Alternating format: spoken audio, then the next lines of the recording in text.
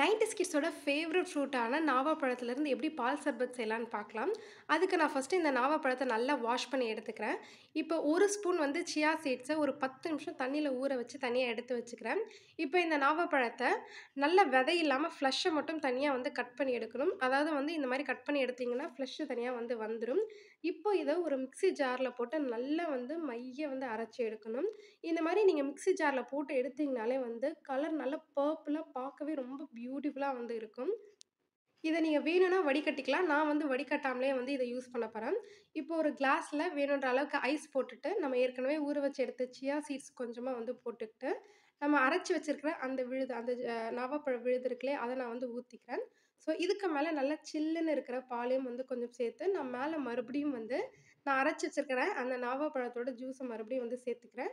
ஒரு table spoon honey சேர்த்து இதை நல்லா மிக்ஸ் பண்ணி எடுத்திங்கன்னா நல்லா பர்பிள் கலரில் பியூட்டிஃபுல்லான ஹெல்தியான பால் சர்பத் ரெடி நாவப்பழம் பிடிக்கும்னா வீடியோக்கு மறக்காமல் ஒரு லைக் போட்டு போங்க. தேங்க்யூ